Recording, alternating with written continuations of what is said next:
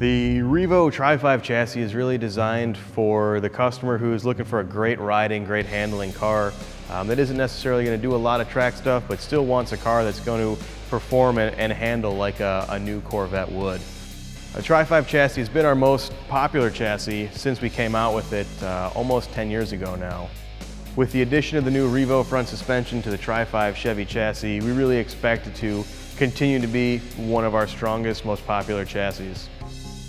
Um, along with the Revo suspension, we address the center cross member that is beefier, adds more structure, uh, still has the exhaust ports for up to three inch exhaust, a dropout transmount that'll work with any GM automatic or manual transmission, and a mid brace with an integrated drive shaft hoop. We offer this chassis for the Nomads, convertibles, hardtops, sedans, wagons, all models that were available in 1955 to 57. One of the things that sets our chassis apart from the others on the market is the main 4x4 frame rail. This allows the same frame to be used under a convertible as you would under a hardtop or a sedan car and eliminate any of the flex that you would normally have there are different body mount configurations, but the frame is the same for all models. There's a lot of differences in how we build a frame compared to what others in the industry are using. Um, where others are using bent square tube or miter cut and welded square tube. All of our frame rails are hand built in-house, start with a inside, outside, a top and a bottom pattern. Those are fixtured in a jig welded together. This allows us the ability to have a, a formed flowing frame rail that shapes around the car, has visually appealing lines and uh, curves and bends to it. Something that looks custom that belongs underneath a custom car.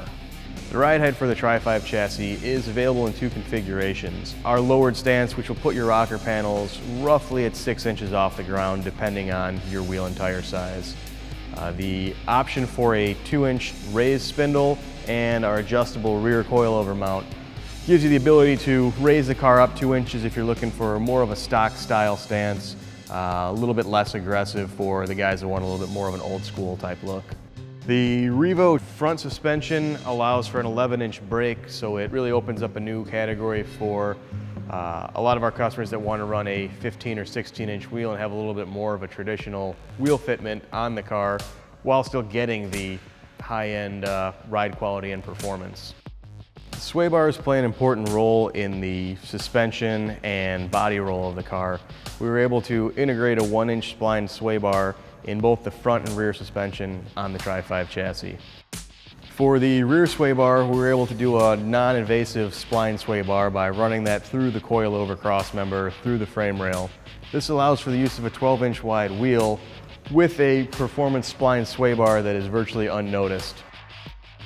Um, the chassis can be set up for any GM engine combination from a small block, big block, or LS motor with no firewall modifications. Um, each chassis is built to order for your specific car, so you're getting exactly what you want in a package that's built just for you. We TIG weld every component on the chassis. Um, TIG welding takes longer, it's harder to do, but at the same time, it's a better weld, it's got deeper penetration, it's visually more appealing, and when it comes time to do the paint body work side of the frame, it's a lot easier to work with. As with anything that we do at the Roadster shop, we want the look of our chassis to really reflect on the build of the vehicle. You're building a custom car, you should have something that looks like a custom chassis underneath that car.